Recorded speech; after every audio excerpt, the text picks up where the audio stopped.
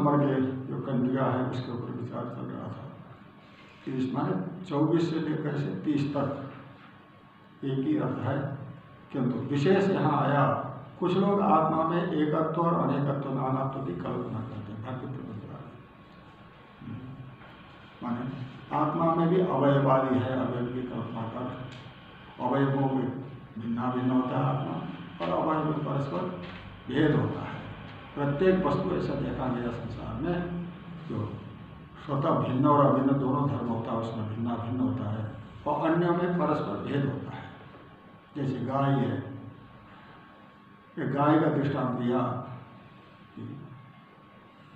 गाय एक वस्तु है, भिन्न और अभिन्न दोनों है एकात् एकात्मत्व अनेकात्मत्व एक रूपत्व, नाना रूपत्व दोनों है कैसे गौ रूप से एक है, और सृजित्व चक्षुष्व आदि के द्वारा भिन्न भिन्न है शिव विशिष्ट गाय अलग चक्षु विशिष्ट गाय अलग पुच्छ विशिष्ट गाय अलग मानी जाती है। और परस्पर जो धर्म है, श्रृंगार धर्म भेद है, परस्पर भिन्न है। गाय के साथ में भेद भी है, अभेद भी है, उनका श्रृंगित्व आदि का। गाय स्वतः अभेद है, उनको लेकर के अब भेद है। ये जो कथन था, प्रत्येक पदार्थों में भेद होता है। तो आत्मा भी भिन्ना भिन्न है, भेद है, भेद और अभेद दोनों है। एक भी है, अनेक भी है।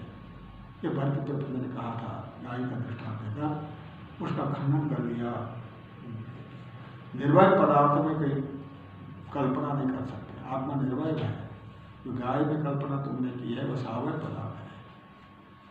अवयव है उसके। अवयव को लेकर के भेद कर तो जो होता है तो निर्वय में भी भेद है कहा, जैसे आकाश में सर्वगतत्व भेद है, कोई वाले कहा। आकाश सर्वत्र जाता है, करके बोला जाता है, क्रिया भेद है। सिद्धांत का वास्तविक रूप से आकाश में गमनागमन क्रिया नहीं हो सकती। वो तो व्यापक है, व्याप्त है। तो जो वस्तु जहाँ है, वहाँ पहले से आकाश विद्यमान है। तो उन वस्तुओं को लेकर के सर्वगत शब्द का प्रयोग कर दिया गया न कि आकाश को लेकर। आकाश में सर्वगतत्व धर्म स्वाभाविक ने औपाधिक तत्त वस्तु को लेकर के दूर दूर देश में रहने वाली वस्तु को लेकर कहा गया। प्रयोग होता है लोक में सर्वगत, वास्तव में सर्वगत, आकाश होने सकता आगे कहते निर्भय दूसरा है परमाणु, उसमें ले गए। आकाशे दर्शित अन्यत्र भी संचारित आकाश में जो युक्ति बताई थी सिद्धांत ने। मान भेदाभेद हो नहीं सकता एकत्व नाना तो हो नहीं सकता एकत्व ही है। इसमें आकाशे दर्शित नाना आकाश में दिखाया गई दिखाई गई जो युक्ति है अन्यत्र भी परमाणु आदि में भी संचार करते हैं, उसमें भी ले जाते हैं तथा भाषण का तथा परमाणु जैसे परमाणु आदि है, जिसको निर्भय माना जाता है नहीं आदि, माने पृथ्वी, जल, तेज, वायु टूट टूट के, टूट टूट के पड़ा हुआ जो तत्व होगा। अंतिम अंतिम छोर को परमाणु करके बोलते हैं। तथा परमाणु अपी का, परमाणु में ऐसा ही है। अनेकत्व तो होना संभव नहीं है। परमाणु भी एक ही होता है। परमाणु में अनेक धर्म होना संभव नहीं एक नंबर एक कहा नहीं, बसंती धर्म भेदा है कि पूर्व परमाणु में भी धर्म विशेष धर्म विशेष नहीं है परमाणु क्यों? निर्भय में निर्भय में धर्म नहीं होता परमाणु नाम, सिद्धांत कहते परमाणु नाम पृथिव्या गंधघनाया परम सूक्ष्म अवयव गंधात्मक एवं कहते हैं। परमाणु माने क्या चीज़ है? पृथ्वी जो गंध घन है। गंध गंध का एक पुंज है पृथ्वी। जहाँ भी गंध मिलता है पृथ्वी गंध का पुंज है जो पृथ्वी माने गंध। गंध का पुंज है। जैसे नमक की टल्ली को लवण घन बोला जाता है इसमें पृथ्वी। कैसी है तो? गंध घन है। गंध ही गंध है, पृथ्वी पृथिव्या, परमाणु क्या चीज़ है? पृथिव्या गंध घनाया जो गंध घन है पृथ्वी। गंध का पुंज है जो पृथ्वी उसमें परम सूक्ष्म अवय उस पृथ्वी का जो गंध घन, गंध स्वरूप पृथ्वी है, उसके परम सूक्ष्म अवयव को परमाणु कहा जाता है। गंधात्मक है वो वो गंध रूपी है। गंध से अतिरिक्त नहीं है वो। परमाणु गंध रूपी है। तो गंध धर्म को पृथ्वी में रखा नहीं जाता। परमाणु वाले गंध ही है। ये सिद्धांत गंध। गंधात्मक है गंध स्वरूपी है वो। न से पुनर्गंधवत्व नाम सकते गलत जो गंध स्वरूप है, उसमें गंधवान कहना बनता नहीं। गंधवत्व धर्म आना संभव नहीं। जहाँ गंध न हो, वहाँ गंध रखा जाता है। किंतु वो स्वयं गंध रूप है, परमाणु। कि पृथ्वी जो गंध, घन पृथ्वी है, उसका परम सूक्ष्म अवय परमाणु है। वो गंध गंध घन ही हो गंध है गंध रूपी है तो गंध स्वरूप है। न तस्य वो जो गंधात्मक जो परमाणु उसमें पुनर्गंधवत्व नाम सकते तो आगे गंधवत्व उसमें कल्पना नहीं की जा सकती परमाणु। वो गंध रूपी है वो, इसलिए गंध अपनी धर्म को लेकर के वहाँ परमाणु में भी धर्म धर्म भाव नहीं कर सकते वो गंध रूपी है। टिप्पणी। दो नंबर टिप्पणी में कहा, गंधई का मूर्ति है बोलिए गंध घराया वो पृथ्वी क्या है? गंधई का मूर्ति है। गंध मात्र एक मूर्ति गंधरूपी है वो, पृथ्वी। उसी के परम सूक्ष्म आ गए, परमाणु। तो वो गंधरूपी है तो उसमें गंध रखना संभव नहीं है। गंध धर्म होना संभव नहीं। धर्म धर्म में बात कल्पना करना संभव नहीं कहा। अतः पूर्वादि की संख्या अतः तस्व रसाधिपत्य वो जो परमाणु, पृथ्वी घन है, गंध घन, पृथ्वी का परम सूक्ष्म अवयव है, उसमें रसादि भी तो है ना, रस भी मिलता है परमाणु स्वाद है। रस भी होता है। स्वाद है, स्वाद होता है। तो वो तो मान गंधात्मक प्रमाण से भिन्न है ना? वहाँ रसादि मत तो स्वाद होता है पृथ्वी तो अतः तस्य पूर्वादि तस्य वो तो परमाणु जो गंधगम परमाणु इसमें तीन नंबर के प्रति कहा। गंधात्म का परमाणु होने को कहा, गंधा गंध स्वरूप परमाणु उसी में रस भी तो है, स्वाद भी तो है। परमाणु में स्वाद भी होता है, गंधमात्र में। रसादि तो रस है पर्श है, वो तो धर्म हो गए ना वो पूर्वादि कहना चेत सिद्धांत करना वो जो वहाँ अन्य धर्म दिखते हैं, रसादि धर्म दिखाई पड़ते परमाणु में, अन्य उपाधि के कारण। क्योंकि ये पंचीकृत जगत है, पंचीकरण हो रखा है, सभी में सभी पाया जाता है, कम ज़्यादा भाव से। अपना अंश ज़्यादा होगा दूसरे का कम होगा। इस सिद्धांत कहते हैं तथापि अबाधि संसर्ग तत्वाद जो आस्वादन जो गंध गंधघन पृथ्वी में जो आस्वादन मिलता है, परमाणु में स्वाद होता है, रस होता है, वो जल के संबंध से वह जल का संबंध भी संपर्क भी है। मैंने पंचीकृत है, पंचीकृत में पाँचों भूत मिल पाए जाते पाँचों भूत वहाँ है, जल जल अंश भी है। वो तो पृथ्वी अंश ज़्यादा होने के कारण उसको पृथ्वी पार्थिव परमाणु कहा जाता है। किंतु जल अंश भी है वहाँ। तथा परमाणु आदि में भी अबाधि संसर्ग में जल आदि का संबंध के कारण वहाँ रस आदि दिख रहा है रस आदि स्वाद दिखता है भाषता है औपाधिक है वो रस आदि वास्तविक उसका धर्म नहीं है परमाणु पार्थिव परमाणु का धर्म नहीं कहा चार के टिप्पणी में कहा पार्थिव परमाणु रसादिमत्व भी तो पार्थिव परमाणु में जो रसादिमान होना है, मान स्वाद आदि से युक्त होना, वो जल के कारण से है। जल वहाँ उपाधि है। जल है, जल मिश्रित है, इसलिए वहाँ स्वाद मिलता है। ये जल अगर हटाया जाए तो स्वाद नहीं मिलेगा, रस नहीं मिलेगा कहा तस्मात, सिद्धांत तस्मात, न निर्भय से अनेक धर्मपद में दृष्टांत अस्थित तो इसलिए यही सिद्ध होता है कि निर्भय पदार्थ में अनेक धर्म मानने के दृष्टांत नहीं। जो निर्भय पदार्थ है। आत्मा निर्भय है। कहाँ अनेकत्व तो आएगा। अनेक धर्म हो नहीं सकता। दृष्टांत नहीं है। तस्मात न निर्भय से अनेक धर्म निर्भय पदार्थ अनेक धर्म मानने में दृष्टांत तो नास्ती। दृष्टांत नहीं है। सिद्धांत ने कहा। यही कहा। पाँच वर्ष से भी टिप्पणी कहते हैं। पाद का आकाश है दृष्टांत तो न रहा। क्यों? आकाश आदि को दृष्टांत बनाया था पूर्वादि में जैसे निर्भय पदार्थ में भी अनेक धर्म देखा जाता है आकाश में। परमाणु में खंडन हो गया। स्वाभाविक रूप से आकाश में कोई धर्म नहीं है। परमाणु में भी स्वाभाविक रूप से कोई धर्म नहीं है। धर्म होते स्वाभाविक रूप से, वो तो औपाधिक रूप से अन्य के लेकर के व्यवहार होता है। शिव का आत्मा तो आत्मा में निर्भय जो आत्मा है, उसको अनेक धर्म मानने में कोई दृष्टांत नहीं मिलता ही बोलते हैं। दृष्टांत नास्तिक साथ ने कहा स्वतो अनेक धर्मत्व। आत्मा में स्वाभाविक अनेक धर्म मानने में दृष्टांत नहीं है। आत्मा अद्वैत है, एक है, ये सिद्ध किया है। सुसुप्ति अवस्था में जाकर सुसुप्ति वाले जागृत के सुसुप्ति है। सुसुप्ति वाला सुसुप्ति है जागृत जगा हुआ में सुसुप्ति आत्मज्ञानोत्तर कालीन जो एकाग्रता है, वो सुसुप्ति है। समझता आगे भाषण में कहते हैं त्रिगादि शक्ति भेदानाम पृथक चक्षु रूपाधि भेद परिणाम भेद कल्पना परमात्मा ने प्रत्युक्ता। इसी व्यास से जब निर्भय पदार्थ होता है, उसमें अनेक धर्म मानने में दृष्टांत नहीं मिलता। इसलिए आत्मा निर्भय है, उसमें अर्थ प्रपंच क्या काम करते हैं, उसमें दीर्घादि भेद, पहले दृष्टि द्रष्टुर दृष्टेर विप्रलोको न इत्यादि कहा नहीं द्रष्टुर दृष्टि विप्रलोको न विद्यते दृष्टा की दृष्टि घ्राता की घ्राती श्रोता की श्रुति इत्यादि कहा श्रुति इत्यादि जो कहा था। तो ये पहले दीर्घादि की कल्पना दृष्टि आदि की कल्पना आत्मा अलग, दृष्टि अलग। और आत्मा अलग, घ्राण, घ्राति घ्राण अलग। घ्राति अलग, इत्यादि कल्पना करना। फिर उसमें तत्त विषयों का तत्त इंद्रियों की कल्पना करना, परिणाम बनाना आत्मा में। तो दृष्टि के लिए चक्षु की कल्पना, और घ्राति के लिए घ्राण की कल्पना, इत्यादि कल्पना। पृथक चक्षु रूपादि भेदेना और चक्षु है तो रूप आदि के बाहर विषय की कल्पना चक्षु। मान दृष्टि है, दृष्टि के कारण चक्षु की कल्पना। चक्षु कल्पना होने पर विषय की कल्पना रूपादि की कल्पना करना।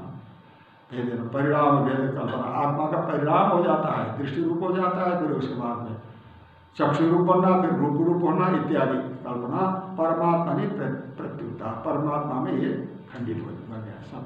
कोई धर्म नहीं रह सकता। वो दृष्टि रूपी आत्मा है, दृष्टि अतिरिक्त नहीं, धर्म नहीं है। दृष्टि को कहा दृष्टि आत्मस्वरूपी है वो, आत्मा से भिन्न दृष्टि नहीं है, ये कहा। ठीक है कहते हैं। ये तेरे में आठ की टिप्पणी पहली भाषा में अवतरण तत्व बोलते हैं, अवतरण में कहा, ये तेरे का अर्थ करते हैं। अंतिम पंक्ति में अवतरण बोला है। शांति पर परस्पर आत्मा ने दीर्घादि शक्ति भेदा, पूर्वादि में शंका उठाए थे। परमात्मा में भी दृष्टि आदि भेद है ना? श्रुति ने बोला, नहीं द्रष्टुर दृष्टि विप्रणों विद्य थे नहीं घ्रातुर घ्रातेर विप्रणों विद्य थे नहीं भक्तुर भक्तिर विप्रण इत्यादि कहा श्रुति ने सात पर्याय तो दीर्घादि भेद भेद दीर्घादि भेद आत्मा में है परस्पर आत्मा में। तेसाम मध्य जो दीर्घादि के बीच में एक दृष्टि शक्ति अलग है, घ्राति शक्ति अलग है, भक्ति शक्ति अलग है।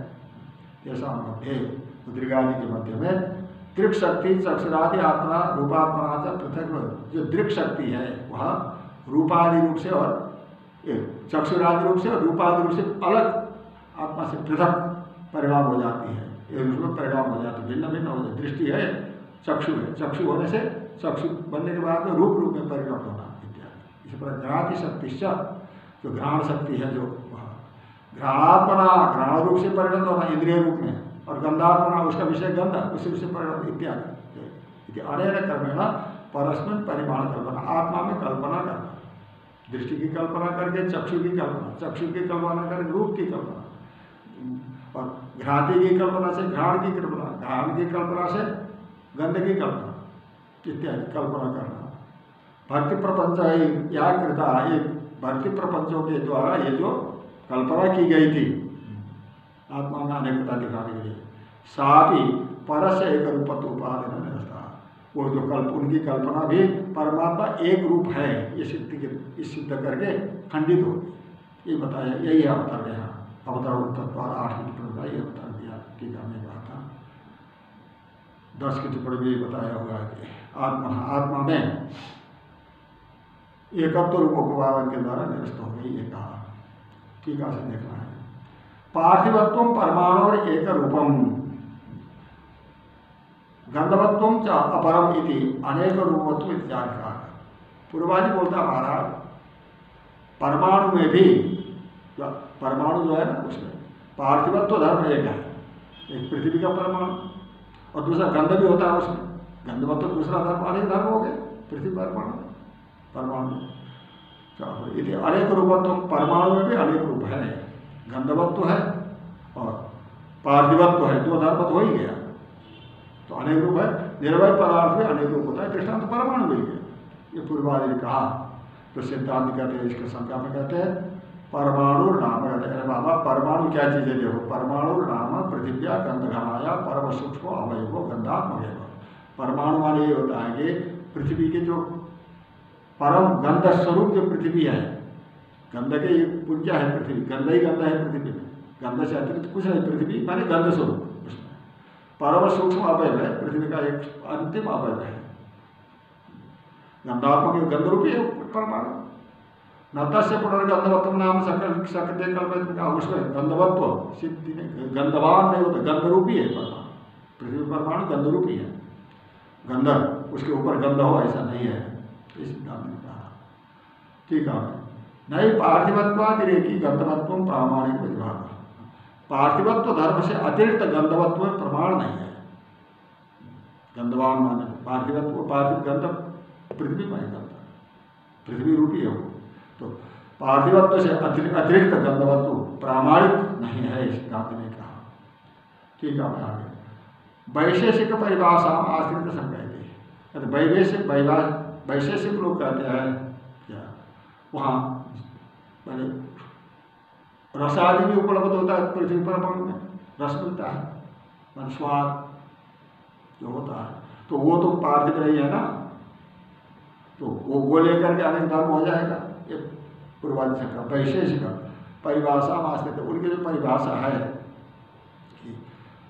पृथ्वी परमाणु में भी स्वाद पाया जाता है रस का गंध पाया जाता है इसके लिए शंका करवाते हैं। कहा अतः पूर्वादि की शंका वास्तव हुई तस्व जो पृथ्वी घन परमाणु है परमाणु का परमाणु उषादि रसादिमत्व रसादि भी तो है वहाँ रस है पर्श है हाँ, रूप है ये सब धर्म है अनेक अमूल माने निर्भय पदार्थ है परमाणु उसमें भी अनेक धर्म है। गंध है पर्श है रूप है रस है शब्द है इत्यादि। इसे नवा कहा सिद्धांत कहते हैं ठीक है पार्थिवे परमाणु रसादिमत्व अनौपाधिकम न भवती। सिद्धांत बोलते देखो, पार्थिव परमाणु में जो रसादिमत्व है, स्वाद आदि मिलना होता है परमाणु में अनौपाधिकम न भवती। वो अनौपाधिक स्वाभाविक नहीं होता, वो औपाधिक है। क्यों? वो जल का संबंध है उसमें, इसलिए रसादिमत्व पाया जाता है। जल का संबंध से रस पाया जाता है, स्वाद पाया जाता है। और तेज का संबंध होने से रूप पाया जाता है, वायु का संबंध होने से पर्श पाया जाता है। संबंध है अन्य का। रसादि का। अनौपाधिक रसादि मतलब औपाधिक है सब इस सिद्धांत का। जलादि संसर्ग कृतत्व तथा। वो जो रसादि मत तो पाया जाता रहा, पाता, पाया जाता है पार्थिव परमाणु में जलादि के संबंध इससे द्वारा कारण है। जलादि का संबंध है वहाँ। इसलिए रस, रसादि पाया जाता है। तथा च निरुपाधिक भेदे देव, न इधम उदाहरण निरुपाधिक में भेद दिखाने में उदाहरण नहीं बनता पार्थिव परमाणु। हम तो निरुपाधिक भेद सिद्ध करना होगा आपको। निर्वय में भेद दिखाने के लिए निरुपाधिक उपाधि बिना भेद दिखाओ। उपाधि के बिना भेद वहाँ जल उपाधि है। रसादि मत तो देखने में परमाणु यदि परिहरती का सिद्धांत खंडन कहा, नौ की टिप्पणी है।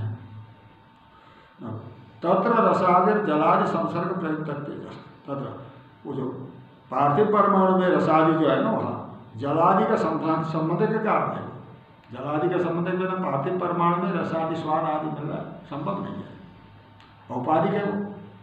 तो निरुपाधिक में स्वरूप भेद दिखाने में कोई प्रमाण नहीं है इस सिद्धांत न तत्रापि करके न तत्रापि अबाधि संसर्ग में तत्वाद एक आवास ठीक है कहते हैं आगे। उक्त न्याय से दिगादो समत, समत्व मत्व ये न्याय। जैसे दिशा दिशा में भी पूर्वादि भेद होता है तत्त कोने को लेकर के भेद कहा जाता है। वास्तव में भेद वहाँ भी नहीं है। वो तो तत्त कोना लेकर के औपाधिक भेद है। काल, दिशा इत्यादि है दिगाद समत्व मत्व समय तस्माद इत्यादि कहा तस्मात न निर्वय से अनेक धर्मवत्व दृष्टांत अस्थि भाषण कहा निर्वय पदार्थ को अनेक धर्म मानने में दृष्टांत नहीं है। आत्मा निर्वय है अनेक रूप हो नहीं सकता। ये भक्ति प्रबंध ने कहा था आत्मा एक भी है, अनेक भी है।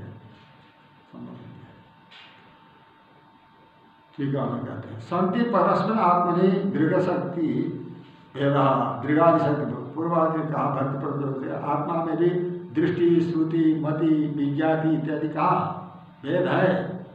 दृढ़ादि शक्ति का भेद है। दृष्टि विशिष्ट आत्मा अलग, श्रुति विशिष्ट आत्मा अलग पृष्ठ विशिष्ट आत्मा अलग, भक्ति विशिष्ट आत्मा अलग इत्यादि। तेसाम मध्य उनमें से एक को लेते हैं, दृक शक्ति जो होगी, आत्मा में जो नई दृष्टि में, का दृष्टा की दृष्टि जो बोला, दृष्टि शब्द लेते हैं दृढ़ शक्ति।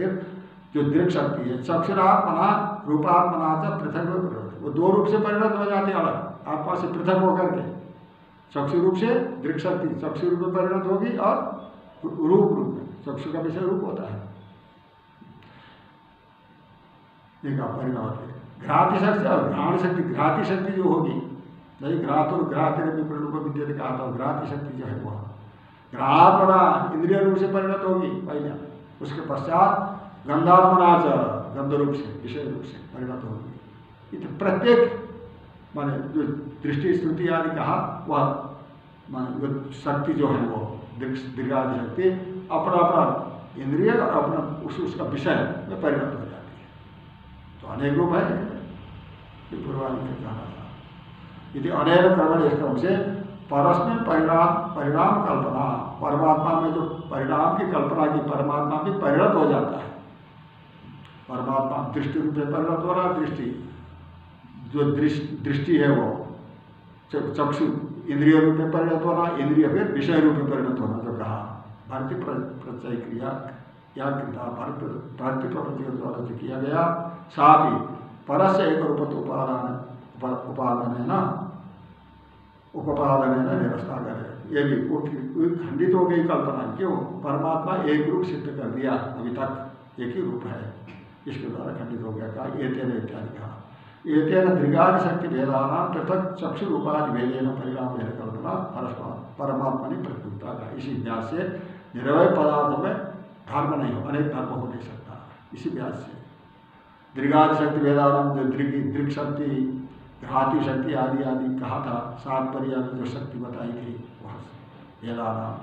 पृथक, अतिरिक्त चक्षु रूपादि भेद चक्षु रूप चक्षु मान इंद्रिय जैसे दृष्टि का इंद्रिय, चक्षु चक्षु का विषय रूप इत्यादि। भेद से। परिणाम भेद की कल्पना परमात्मा में खंडित हो गई है। परमात्मा एक है, अनेक नहीं है। ये सिद्ध कर दिया है कहा। यहाँ ये वार्तिक है, थोड़ी ये तेरह शक्ति भेदाराम के ऊपर वार्तिक है। एतेन दृगादि शक्ति भेदानाम इत्यादि। प्रत्युक्ते, प्रत्युक्ता इति अंतभाष्य ये एतेन से लेकर के प्रत्युक्ता तक जो भाष्य है, इतने भाष्य के ऊपर वार्तिकाचार्य वार्तिकाचार्य सुरेश्वराचार्य कहते हैं, तथा ही कहा। दृगादि शक्ति भेदानाम चक्षु रूपादि भेदतः विकार कल्पना न्याय नात्मन अपाकृता। दृगादि शक्ति भेदानाम जो सात प्रकार की जो शक्ति बताई, दृग शक्ति, घ्राति शक्ति श्रुति शक्ति भक्ति शक्ति, इत्यादि कहा था। मंत्री शक्ति और विज्ञाति शक्ति। इत्यादि जो कहा गया था। परत्युषण आदि। तो ये वेदान चक्षु रूपादि भेदता और शक्तियों का भी फिर परिणाम होना, चक्षु रूपा, चक्षु रूप से परिणत होना, रूप रूप से परिणत होना इत्यादि।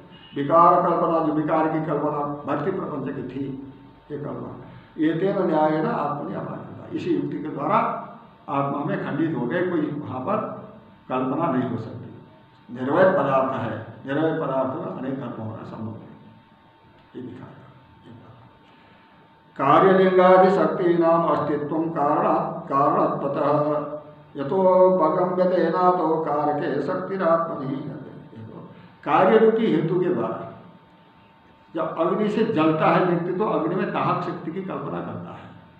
दाहक शक्ति है अनुमान से सिद्ध करता है। कब? जब जलेगा अग्नि से जलने पर अग्नि में शक्ति की कल्पना करता है। वो शक्ति को कारण माना जाता है। दाहकता के कारण शक्ति। कहाँ थे? अग्नि। ये कार्य रूपी हेतु के द्वारा, लिंग माने हेतु। हेतु के द्वारा ही शक्ति नाम अस्तित्व कारण शक्ति में अस्तित्व सिद्ध होता है कार्य लिंग के द्वारा। तो काम क्रिया हो जाती है, दहन क्रिया होने पर अग्नि में दाहक शक्ति है अनुमान से सिद्ध किया जाता है तो कारण माना जाता है। कारण तभी माना जाता है, कार्य रूपी लिंग को देखकर, हेतु देखकर। जब घट बन जाता है तो मृतिका सिद्ध हो जाती है। मृतिका न होती तो घट नहीं होता। इसी प्रकार, शक्ति की कल्पना तब होती उसके कार्य सिद्ध होने पर। कार्य लिंगादि शक्ति, नाम शक्ति के जो कार्य है, वही लिंग, हेतु है शक्ति की सिद्ध करने के लिए। अस्तित्व शक्ति नाम अस्तित्व कारण। होता शक्ति का अस्तित्व तभी सिद्ध हुआ कारण होने से कारणत्वता कारण होने से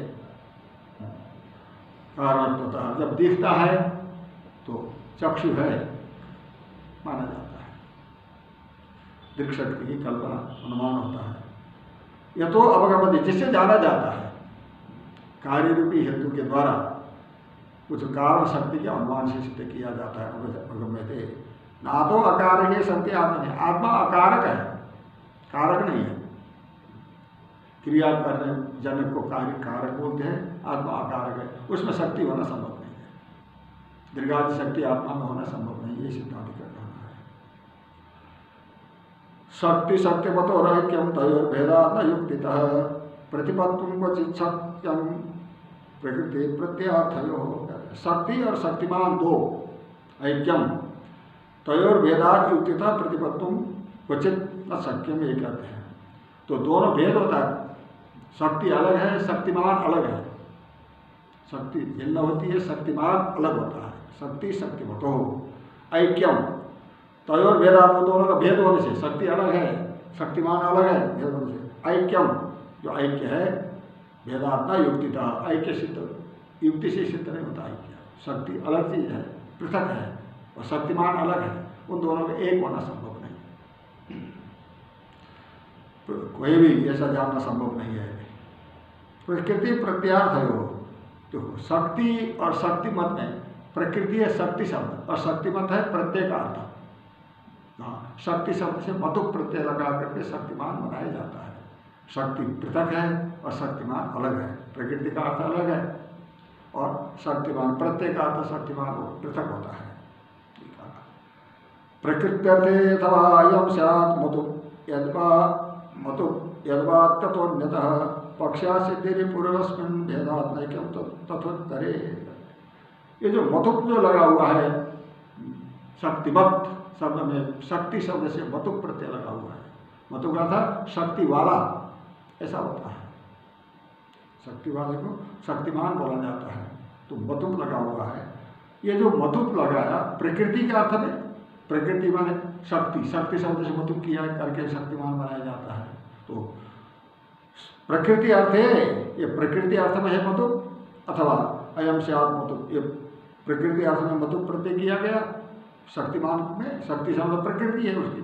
उसे मतुक करके शक्तिमान बनाया गया वह तथो अन्यतः, अथवा अन्य अर्थ में मतुक है। प्रकृति अर्थ में मतुक है या प्रकृति अर्थ से अतिरिक्त में मतुक प्रत्यय किया गया है। यदि पहला वाला पक्ष है, प्रकृति अर्थ में मतुक है, शक्ति, वही शक्तिमान बोलना तो शक्ति ही शक्तिमत हो गई, शक्तिमान शक्तिमान। तो पक्षा सिद्धि, फिर शक्ति में शक्तिमान बनाने के लिए पक्ष की स्थिति होगी। शक्ति तो मतुक था तो शक्ति में घुस गई, शक्ति में घुसने से पक्ष की असिद्धि होगी, माने जिस प्रकृति की असिद्धि होगी, किससे करना मतुक होगा? एक ही हो गया। पूर्व से। वेदार्थ नहीं कम तो नहीं प्रकृति के अर्थ में मतुक नहीं है, अन्य अर्थ में मतुक बोलेगा। तो अन्य अर्थ में होगा तो प्रकृति प्रत्यय का अर्थ अन्य हो जाएगा, अन्यत्र है। और प्रकृति अन्य है मतुक होना संभव नहीं है। आत्मा विद्या शक्ति सर्वशक्य सर्जने धातु अन्यथा शक्तिवाद प्रमाण है अवशीयते। शक्तिवाद, शास्त्रों में बहुत शक्तिवाद है। तो शक्तिवाद कहते हैं आत्मा अविद्या आत्मा के जो अविद्या है ना, आत्मा विद्या न शक्ति। हमारी जो शक्ति हो तो आत्मा की अविद्या ही है। न शक्ति सर्वस्व शक्ति सबके सृष्टि करने में आत्मा की अविद्या ही सृष्टि करती है। आत्मा का जो अज्ञान है, वही सृष्टि करने वाला है। शक्ति नहीं सृष्टि करने वाला। शक्ति से सृष्टि नहीं होनी है। आत्मा के अज्ञान से सृष्टि होती है। सारे संसार की सृष्टि में उपयोगी किस उपयोगिता? आत्मा के अज्ञान में है। आत्मा विद्या ही, आत्मा की अविद्या ही। सर्वस्व शक्य से शक्य पदार्थ जितनी वस्तु है उनके सृष्टि करने में आत्मा की अविद्या ही कारण है। न शक्ति होती है शक्ति नहीं। शक्ति से सृष्टि नहीं होती है, आत्मा के अज्ञान से सृष्टि है। ना तो निधा शक्तिवाद है इससे अतिरिक्त कोई शक्तिवाद है नहीं। आत्मा के अज्ञान को छोड़ करके बाकी कोई शक्तिवाद है नहीं। शक्तिवाद नहीं। प्रमाण अवश्य थे प्रमाण के द्वारा शक्तिवाद का निश्चय नहीं होता। आत्मा के अज्ञानी सारी सृष्टि करने में सक्षम है वही करती है। आत्मा के अज्ञान अविद्या ही करती है। इसलिए शक्तिवाद प्रमाण से सिद्ध नहीं होता। शक्ति से सृष्टि नहीं होती, आत्मा के अज्ञान से होता है। अशक्तम शक्तिमत सत्य शक्ति शक्तिमता तथा अशक्त कथम योग योगम अन्य भेद संभव कहते देखो शक्ति विशिष्ट में शक्ति है या शक्ति के अभाव वाले में शक्ति है? शक्ति कहाँ रहती है? शक्ति विशिष्ट जो हो चुका है उसमें शक्ति रहती है? अथवा जहाँ शक्ति नहीं वहाँ शक्ति रहती है। जो शक्ति नहीं जहाँ वो कैसा होगा? अशक्त पदार्थ होगा। शक्ति रहित ये शक्ति बोले तो व्याघात शक्ति रहित में शक्ति होना संभव नहीं है। असक्तम शक्तिमत हाँ, शक्ति के द्वारा अशक्त पदार्थ शक्तिमान होता हो, ऐसा माना जाए। पहले शक्ति नहीं है, शक्ति नहीं है जहाँ, वहाँ शक्ति आकर के वो शक्तिमान हो जाए, संभव नहीं। अशक्त में शक्ति हो नहीं सकती है। अशक्त वस्तु में शक्ति होना संभव नहीं। और कहाँ शक्ति है? और अथवा शक्ति वाले में शक्ति भी नहीं हो सकती। जहाँ शक्ति वाला, शक्तिमान है, वहाँ भी शक्ति नहीं होती। शक्तिमान होने के बाद क्या शक्ति आएगी? तो कहाँ होती है शक्ति बताओ। शक्ति वाले को शक्तिमान बोल रहा है, वो तो लगा हुआ है। वो शक्ति है असत्य में शक्ति नहीं, कि जो शक्ति नहीं है जिसमें उसमें शक्ति हो नहीं सकती। और जो शक्ति जहाँ पहले से विद्यमान है, वहाँ भी शक्ति हो नहीं सकती। तो शक्तिवाद खंडित हो जाता है, ये कह रहे हैं। एवं कथम योगम, दोनों का संबंध कैसे होगा वहाँ भी? शक्ति और शक्तिमत में अन्योन्य हेतु असभा एक दूसरे के हेतु कारण सिद्ध नहीं होता। असत्य में शक्ति रह नहीं सकती शक्तिमत में भी शक्ति नहीं रह सकती। शक्ति आने के बाद में पहले असक्त है तो कभी उसमें शक्ति आ नहीं सकती। शक्तिमान हो नहीं सकता असक्त वस्तु। और शक्ति पहले से विद्यमान हो, वह बाद की शक्ति क्या काम करेगी? संभव नहीं होता। इसलिए शक्तिवाद संभव नहीं होता, ये कहना चाहते हैं सत्तय संधिभूय तयोरपि मत यदि पूर्व पक्ष बोलेगा कि नहीं, शक्ति अनेक है। अनेक प्रकार की शक्ति एक ही नहीं, अनेक प्रकार की शक्ति है, ऐसा पूर्वादि बोले। तब फिर भी तथा भी तुल्य चौद्यवाद अनवस्था प्रसिद्ध वाणी अनवस्था ही होगी। यदि असक्त में शक्ति आ गई, असक्त वस्तु में शक्ति हो, वो शक्ति भी तो फिर किसमें रहेगी? असक्त में रहेगी सत्य में रहेगी? वही कोई शक्ति में होगा। फिर जो शक्ति आएगी, उसमें वही पूछा जाएगा असत्य में है कि शक्तिमान में है?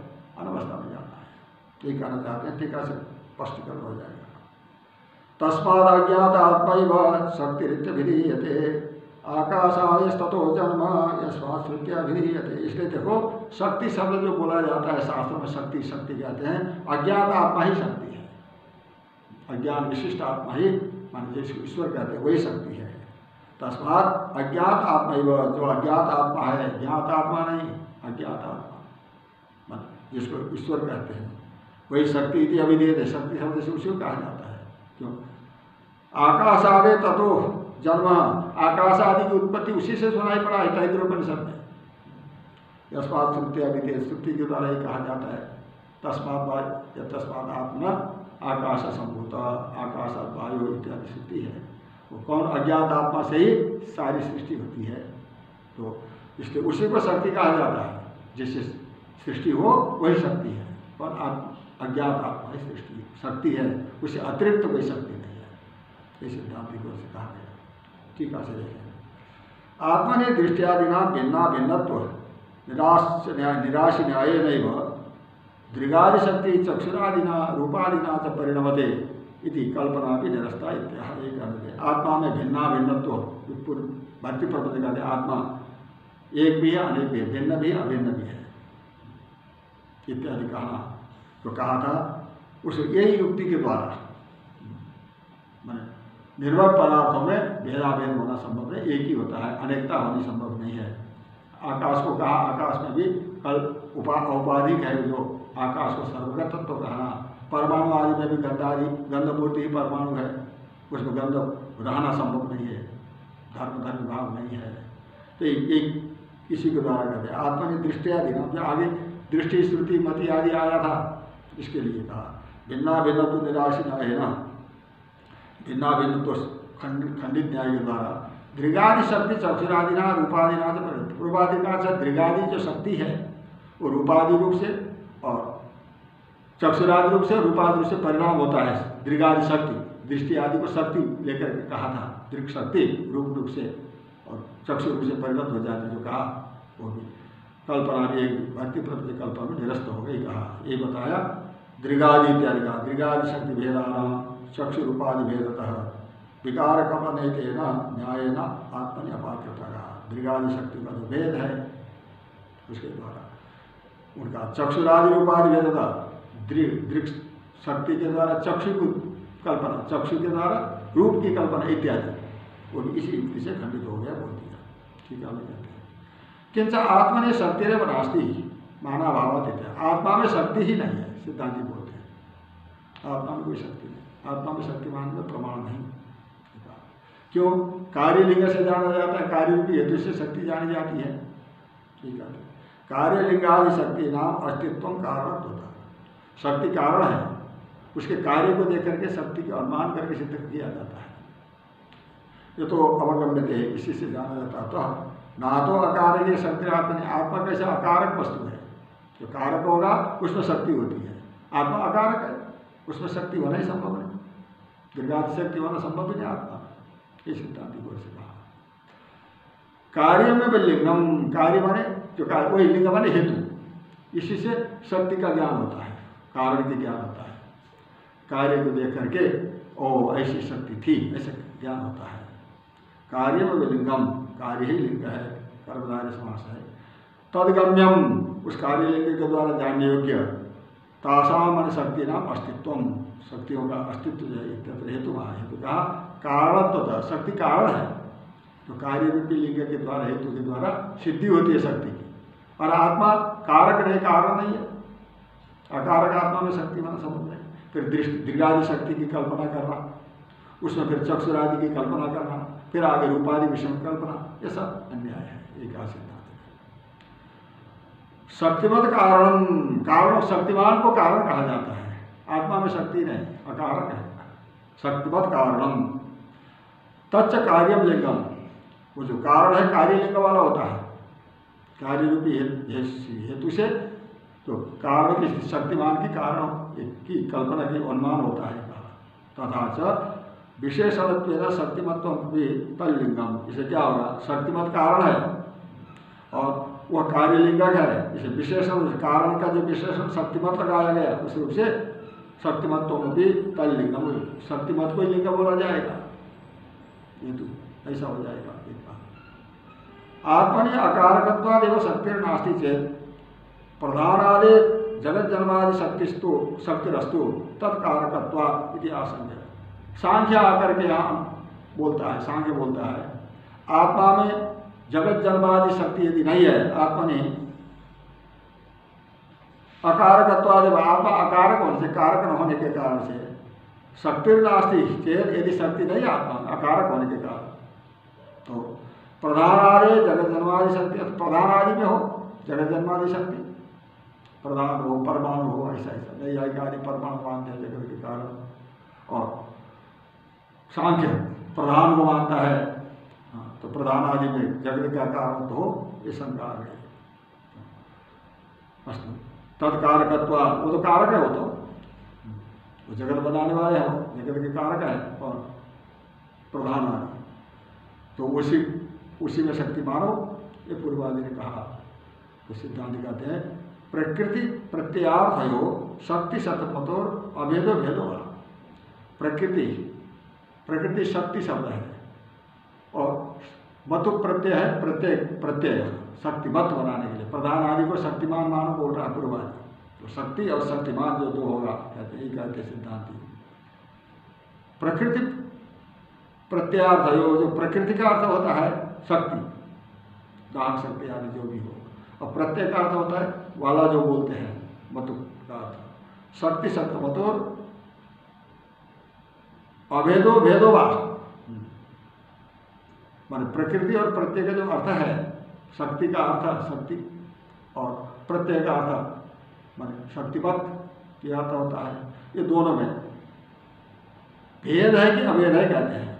शक्ति शक्ति मतोर भेदो अदुआ प्रकृति और अर्थ प्रकृति का अर्थ शक्ति और अर्थ शक्तिमान। ये दोनों में अभेद है या भेद है? शक्ति और शक्तिमान में भेद है कि अभेद है? वो तो पूछते हैं सिद्धांत यदि विकल्प आद्य दोष महा, पहला पक्ष अभेद है मानेंगे। शक्ति और शक्तिमान में अभेद है। शक्ति और शक्तिमान, दो में अभेद। ये कहने पर उसको दोष देते हैं सिद्धांत। शक्ति ही इत्यादि शब्दों से कहा है। शक्ति शक्ति बतौर ऐक्यम तयोर भेदात युजते शक्ति और शक्तिमान में एक एक होना संभव नहीं। क्यों? दोनों भिन्न होते हैं। शक्ति अलग है, शक्तिमान अलग है। जैसे अग्नि में दाहक शक्ति अलग है, अग्नि अलग है। इस प्रकार भेद होने से एक मानना संभव नहीं। प्रतिपत्तों को जो हम कहीं भी ऐसा नहीं जाना जा सकता कि शक्ति और शक्तिमान एक होता है करके। प्रकृति प्रत्यार्थ योग प्रकृति का अर्थ है शक्ति और प्रत्यय का अर्थ है शक्तिमान। ये दोनों में एक ऐक्य मानना संभव नहीं भेद होता है, ये सिद्धांत ने कहा। अभेद पक्ष ठीक नहीं है, और भेद पक्ष कहेंगे, ठीक है। न तयोर भेद प्रतीत होता सही वस्तु पूर्वादि बोलता है, वो दोनों भेद प्रतीत होता है, शक्ति और शक्तिमान में। शक्ति अलग है, शक्तिमान अलग है। तो वही माना जाए, भेद माना जाए, शक्ति और शक्तिमान में। तो सिद्धांत कहते हैं हेम बिंदु शक्ति तद्वत भाव अयोगा जैसे हिमाचल हिमालय पर्वत और विंध्याचल को माने ये शक्तिमत होना संभव नहीं है। न हिमालय विंध्यवत होगा, न विद्या हिमवत होगा। एक दूसरे में मिलना संभव नहीं है। मैंने शक्तिमान होना संभव नहीं होगा स्थिति में कहना चाहते हैं। ठीक है योगादि दृष्टि कहा, उत्तम अर्थम स्वरयतम शक्तिमान इत्यत्र मतुपार्थम विकल्प है। इसी अर्थ को स्पष्टीकरण करने के लिए शक्तिमान शब्द में मतुप के जो अर्थ होता है, उसको विकल्प करते हैं। मतुप क्या प्रकृति के अर्थ में है कि प्रत्येक अर्थ में है? ऐसे विकल्प करते हैं कहा। प्रकृति इत्यादि शब्द से कहा है। प्रकृति अर्थे थवा अयम अयम माने मतुप शाह अयम मतुप प्रकृति अर्थ है प्रकृति के अर्थ में सब प्रकृति शक्ति। उस अर्थ में अथवा। तथो अन्यथा अथवा प्रकृति अर्थ से अन्य अर्थ में है।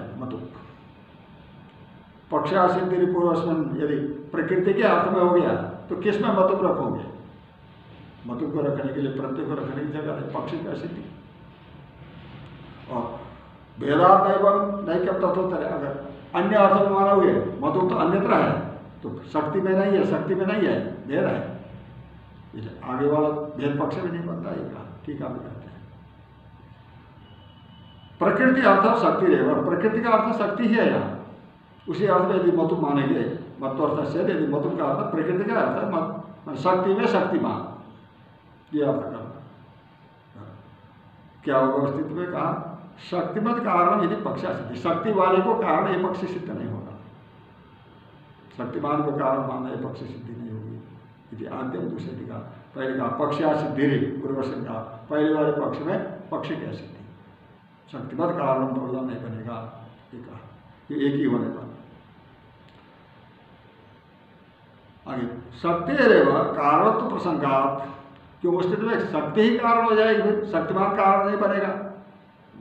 मान शक्ति अर्थ में ही यदि शक्तिमान है तो शक्ति ही कारण होंगे तो शक्तिमान कारण नहीं हो पाएगा, सिद्धांत ये बोल रहे कहा शक्ति एवं कारणत्व प्रसंगात तस्याच आश्रय विषय व्यतिरिक अयोगात और जो शक्ति है, आश्रय के बिना काम नहीं कर सकते। आश्रय के में आश्रित होना है। यदि ही शब्दार्थ ही दिया है वहाँ इसका अर्थ है? बात मुझे ही दिया, पक्षा सिद्धि ही जो कहा था। प्रकृति अर्थात शक्ति अर्थांतरे, प्रकृति अर्थ से शक्ति अन्य अर्थ में है। प्रकृति के अर्थ में नहीं है शक्ति। अन्य अर्थ में। शक्ति अर्थ में नहीं है, अन्य अर्थ में ऐसा मानने पर। मतु मतु का अर्थ मानने पर शक्ति तत्वतोर भेदा। शक्ति अलग तलवार अलग हो जाएगा। मान शक्तिमान अलग और शक्ति अलग, ऐसी स्थिति हो जाएगी। तयोर ऐक्यम विवक्षित वो दोनों को एक मानते हो तुम कोई सिद्धि नहीं होगी ये सिद्धांत ने कहा। न तो तयोर भिन्नता, शक्ति तत्व भाव आएगा भिन्न नहीं कर सकते, शक्ति और शक्तिमान क्यों? शक्ति और शक्तिमान, भाव की योग्यता आएगी नहीं, फिर संबंध नहीं होगा। कल्पांतर में निषेध द्वितीय पक्ष वेद पक्ष में निषेध करते हैं। शक्ति, शक्तिमान में नहीं है, शक्ति शक्ति में शक्तिमान नहीं है। मतुब का अर्थ अन्यत्र है। इसका भी खंडन करते हैं, आत्मा इत्यादि का। भेद, भेदात इत्यादि, भेदात क्यों तत्व भेद वर्ष से ऐक्य नहीं बन पाएगा। यदि शक्ति, शक्तिमान में नहीं है, अन्यत्र है मानने पर ऐक्य सिद्ध नहीं हो पाएगा एक आगे टीका में कहते हैं। नानो भेदाभेद भेदाभेद विकल्पनाभ्याम शक्तिवादो न अपवाद पढ़ते त्वया भी शक्तिर आश्रितत्वाद इतिहास पूर्वादि भक्त पौधे को शंका है कि भेदाभेद भेद भेदाभेद विकल्पनाभ्याम दो विकल्पों के द्वारा शक्तिमान में शक्ति है कि शक्ति का अभाव वाला में शक्ति है ऐसा विकल्प करके आपने जो कहा। तो शक्तिवादो न अपवाद शक्तिवाद का खंडन नहीं किया जा सकता। क्यों? खंडन के योग्य नहीं है। तो या भी शक्ति ने आश्रय तो तुम जो सिद्धांति हो ना, तुमने भी शक्ति का आश्रय लिया है, शक्ति को माना हुआ है। कैसे शक्तिवाद का खंडन करोगे? ऐसी कल्पना वर्ग प्रबंध ने कहा तो उसी सिद्धांत बोलते हैं, आत्मा इत्यादि। अरे, बाबा, आत्मा की अविद्या ही शक्ति है, एक बात आत्मा विद्या न शक्ति, सर्व सर्वशक्य से सर्व ने कहा। सारे सृष्टि, विश्व की सृष्टि के लिए आत्मा की अविद्या ही शक्ति है। अन्य शक्ति नहीं है, न शक्ति। आत्मा की अविद्या पर्याप्त है। उसके शक्ति की आवश्यकता नहीं है। आत्मा की अविद्या ही सारी सृष्टि कर्म समर्थ है, ये कहा। तो ततो ना तो शक्तिवाद है इससे अतिरिक्त कोई शक्तिवाद नहीं हो सकता आत्मा की अविद्या को छोड़कर।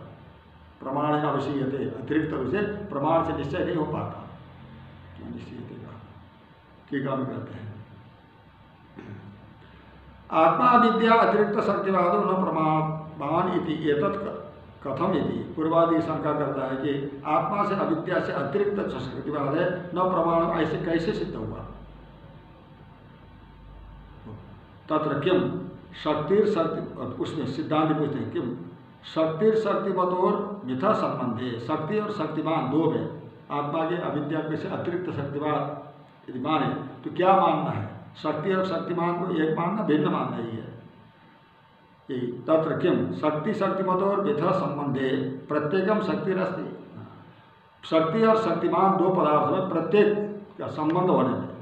प्रत्येक में शक्ति है क्या? प्रत्येक में शक्ति है? जो शक्ति और शक्तिमान का संबंध होने में तो शक्ति में भी शक्ति और शक्तिमान में भी शक्ति, दोनों में शक्ति है। सिद्धांत बोलते हैं। ये कहना चाहते हैं। शक्ति शक्तिमत और मिथा भिन्न होते परस्पर भेद संबंध में। संबंध में प्रत्येकम शक्ति अस्थि न शक्ति में भी शक्ति और शक्तिमान में भी शक्ति है कि नहीं? है या नहीं? तो द्वितीय दूसरा ही थी कहते दूसरा पक्ष है। है। प्रत्येक शक्ति नहीं है। दोनों में शक्ति नहीं है। शक्ति में भी शक्ति नहीं है, शक्तिमान में भी शक्ति नहीं है पक्ष है। नैया वाला रखोगे तो उसे दूसरा देते तब तो असत्य में शक्ति होगी जो शक्ति रहित में शक्ति शक्ति रहित में शक्ति कैसे हो सकती है? सिद्धांत कार्य असक्तम इत्यादि शब्दों से कहा था। असक्तम शक्तिमत शक्तिया। हाँ। असक्त पदार्थ शक्ति के द्वारा शक्तिमान मानना। शक्ति शक्ति मतलब उसी प्रकार। शक्ति भी शक्तिमान के साथ शक्तिमान में शक्ति होना। हाँ, शक्ति मतलब शक्ति शक्ति से विश्वित होने पर शक्तिमान होना। ये भी। असक्ता है वो समर्थ नहीं। असक्ता है, शक्ति भी असक्त मतलब जब तक शक्ति नहीं आएगी, तब तक शक्ति भी असक्त है। ऐसा मानने में। कथम योगम अन्योन्यम, हेतु असंभव अन्य संबंध कैसे होगा? वो भी असक्त वो भी असक्त। दोनों का संबंध कैसे होगा? ये सिद्धांत ने कहा। ठीक है कहते हैं। आद्यमान प्रत्यय, पहले वाला। माने शक्ति नहीं है, वो पक्ष को अनुवाद करके खंडन करते हैं। शक्तया इत्यादि का शक्तया संधि भूयस्य तयोरअपि मतभेद। यदि ऐसा मानोगे, दोनों का शक्ति है। बहुत सारे शक्ति है। शक्ति के भी अनेक शक्तियाँ हैं, और शक्तिमान की भी अनेक शक्ति है। यदि ऐसा मानोगे, अस्थि पक्ष ही है। तो ऐसा मानोगे तो तथा भी तुल्य तो वहाँ भी फिर वो शक्ति आएगी। दूसरी शक्ति आएगी। शक्ति में जो शक्ति आई, वो शक्ति मत में है या वो शक्ति शक्ति का अभाव वाली वही प्रश्न उठेगा, पहले वाले प्रश्न उठेगा। इत्यादि। तुल्य चत्योदान अवस्था प्रसिद्ध देगा ठीक है कहते हैं। तथापि तत्त शक्ति शक्ति शक्ति ही वो जो बाद में आने वाली जो शक्ति होगी, शक्ति में शक्ति आएगी वो आगे आने वाली शक्ति भी शक्तिमान में शक्ति है कि मान असत्य में शक्ति है। ऐसे प्रश्न उठेंगे वहाँ। यही करते करते अवस्था में जाओगे, कहा? तुल्य चौद्य से सत्वम नाम। जो तुल्य है प्रश्न। समान है इसमें, उसका अस्तित्व बन गया तत्र तत्र शक्तिमत्व से आवश्यकत्व। तत्त स्थान में शक्तिमान तुम्हें मानना पड़ेगा, शक्तिमान में शक्ति रखने के लिए। वहाँ रखोगे, नहीं, आई हुई जो शक्ति है, उसमें प्रश्न प्रश्न होगा कि शक्तिमान में शक्ति है कि असत्य में शक्ति है? वही प्रश्न उठेगा इसलिए अनवस्था में जाओगे।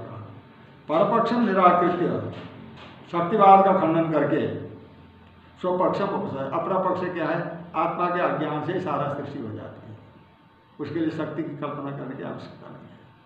शक्ति क्या है? सृष्टि कार्य के लिए है ना शक्ति मानना। तो कार्य आत्मा के अज्ञान से हो जाता सब। श्रुति ऐसी बोलती है, ये कहना है। तस्माद इत्यादि शब्द जगह ऐसे कहा। तस्माद अज्ञात आत्मा एवं शक्ति विधीयते कहा। अज्ञात आत्मा ही शक्ति है। अन्य कोई शक्ति नहीं। हाँ। आत्मा विधि इत्यादि ठीक है तस्माद अज्ञात आत्मा शक्ति अभिधीयते। अज्ञात आत्मा अज्ञान विशिष्ट जो आत्मा है, वही शक्ति शब्द का तो वही होता है। उसी को शक्ति कहा जाता है। प्रमाण क्या है? तत्र प्रमाण है इसमें क्या है? तैतरोपनिषद प्रमाण है। तस्मात बाह्य तस्मात आकाशात तस्मात बाह्य तस्मात आत्मना आकाश संभूता आकाश वायु वायु अग्नि अग्रे अद्भि पृथ्वी इत्यादि आया है। आप अग्निर आप अद्भित पृथ्वी इत्यादि। ये सारी सृष्टि आत्मा के अज्ञान से बता रहा है। अज्ञात आत्मा से कहा। आकाश आदि ततो जन्म। अज्ञान विशिष्ट आत्मा से आकाश आदि की उत्पत्ति बताई है तैतरोपनिषद में। यशपात श्रुति अभिधीय थे जिसे श्रुति के द्वारा ही कहा जाता है। कारण भी शक्तिमत इष्टम। कारण को ही शक्तिमान इष्ट है कहना है। जो कारण होगा वही शक्तिमान होता है। कार्य जन्म जनक, कार्य का जो जनक होगा उसको शक्तिमान बोला जाता है। कारण, जो कारण होता है, कारण में शक्तिमान, शक्तिमत इष्टम, शक्तिमान, शक्तिमत रूप से इष्ट है। अन्यथा अति प्रसंगा तो कारण तो आप किसको बताया? तैत्र बड़े सकते आत्मा के अज्ञान को बताया। तस्मात बात यह तस्मात आत्मा आकाश संबोधित अज्ञात आत्मा विश्व से कारण। सारा संसार का कारण अज्ञात आत्मा है। अज्ञान विशिष्ट आत्मा सारा संसार का कारण है। और ज्ञात आत्मा संसार का नाशक है। अपने अज्ञान के कारण ही संसार बनाते हैं और अपना ज्ञान अंदर संसार खो जाता है। यही है। शुरू यदि सारे संसार का कारण आत्मा के अज्ञानी आत्मा। अज्ञात आत्मा को ही सुनाई पड़ता है। तस्मात आत्मा ज्ञान एवं शक्ति आत्मा का ज्ञान ही शक्ति है। उसे अतिरिक्त शक्तिवाद नहीं है, ये सिद्धांत है कहा। तो अभी तक यही बताए गए थे, देखो आत्माकार वृत्ति में जो व्यक्ति हो जाता है तो सबका अभाव होता है, सुसुप्ति अवस्था दिखाई। सुसुप्ति माने जागृत वाली सुसुप्ति। पहले बार में जो चर्चा आई थी। देखो जागृत अवस्था में जो व्यवहार करता है आदमी इसको जागृत जागृत बोला जाता है। इंद्रिया काम कर रही है शरीर काम कर रहा है, हस्तपाद आदि काम करते हैं, व्यवहार होता है। इसको जागृत जागृत कहा जाता है। जागृत का जागृत है। और आँख बंद चुपचाप बैठा है, फिर भी उन कार्यों का मन में हलचल होता है। व्यवहार मन में, उसको कहते जागृत स्वप्न कहा जाता है। जागृत नहीं है, किंतु इंद्रिय काम नहीं करे, चुपचाप है, शांत है किंतु उन विषयों का चिंतन कर रहा, व्यवहार का चिंतन करता हो। उसको जागृत स्वप्न कहा गया। वहाँ प्रागवासिक इंद्रिय लेके काम करता उसका, ऐसा है, जागृत स्वप्न है। और जिस काल में एक विषय विशेष में एकाग्रता हो, उसको जागृत सुशुद्धि कहा जाता है। यहाँ विषय विशेष क्या है? आत्मज्ञान में बैठा हो, आत्मभाव में बैठा हो, जिस अवस्था में, ये जागृत सुशुद्धि है। सुशुद्धि की चर्चा जागृत सुशुद्धि निद्रा वाली सुशुद्धि नहीं है यहाँ। जागृत है। तो इसमें जाने पर संसार का अभाव होता है। एक ही अद्वैत आत्म सिद्ध हो जाता है। नहीं दृष्टि दृष्टि विप्रलोक विद्यते अविनाशित्वा। पूर्वादि तन्न परिस्थिति इत्यादि शंका उठाई थी। चौबीसवें कंडिका से लेकर के तीसवें कंडिका तक चर्चा उठाई। उस काल में तो दिखता नहीं ना। इसमें आत्मा नहीं है वहाँ सुषुप्ति में। ये पूर्वादि शंका उठाई। उस का अनुवाद कर कहा, नहीं। पश्चिम में तन्न पश्यति, देखता हुआ नहीं देखता है। ऐसा कहा था उस काल में अपना स्वरूप का ज्ञान का अभाव नहीं वहाँ स्वरूप ज्ञान है। विषय के अभाव के कारण विशेष ज्ञान नहीं है। पश्चिम में तन्न पश्चिम देखता हुआ नहीं देखता है। अपना स्वरूप का अभाव नहीं वहाँ क्यों? नहीं दृष्टु दृष्टि लोग विनाशित्वा दृष्टा की दृष्टारूप जो दृष्टि, अथवा दृष्टा बने प्रमाता उसके जो दृष्टि बने साक्षी उसका लोक नहीं होता। कभी अभाव नहीं होता। नहीं तक द्वितीय अस्थि, ततो अन्य विभक्तम पश्यत, ऐसा कहा था। उस काल में जो नहीं देखता क्यों नहीं देखता है? द्वितीय पदार्थ नहीं है। उससे भिन्न कोई दूसरा पदार्थ विषय नहीं है। विभक्त होकर के देखे दृष्टि, आत्मरूप दृष्टि का लोक नहीं। इत्यादि जो कहा था नहीं घातु इत्यादि, कहा उसके द्वारा सिद्ध कर लिया कि आत्मभाव में जो व्यक्ति पहुँचा होगा उस काल में जगत का बाद हो जाता है। वही मोक्ष है, ये सिद्ध होता है। मान जिसको सुसुप्ति अवस्था में जागृत की सुसुप्ति को लेकर के कहा है। अब, जब आत्मभाव में नहीं होगा, अज्ञान के विक्षेप शक्ति के आधार पर बैठा होगा, विक्षेप शक्ति काम करती हो, उसका अर्थ कल्पना हो जाती है। अन्य तो नहीं, अन्य जैसा लगता है। जैसे रज्जु में सर्प, अन्य नहीं है। तो रज्जु से पृथक पृथक जैसा लगता है ज्ञान के कारण। ये दिखाना है। जिस काल में आत्मभाव में नहीं है, जिस काल में अन्य जैसा हो जाता है। अन्य तो है ही नहीं। आत्मा से अतिरिक्त कोई वस्तु है ही नहीं। जागरूक में भी स्वप्न में भी कभी भी नहीं। तो अन्य जैसा हो। ऐसा होता हो, वहाँ स्वयं अन्य होकर के अन्य को देखता है, अन्य को सुनता है, अन्य स्पर्श स्पर्श करता है, अन्य को बोलता है इत्यादि, यह कहना है विपरीत दिखाना है। इसके लिए आगे मंत्र आएगा, समय हो गया, आज यही रहते फिर ओम पूर्णमद पूर्णमद पूर्णात् पूर्ण पूर्णस्य पूर्णमद ओम शांति शांति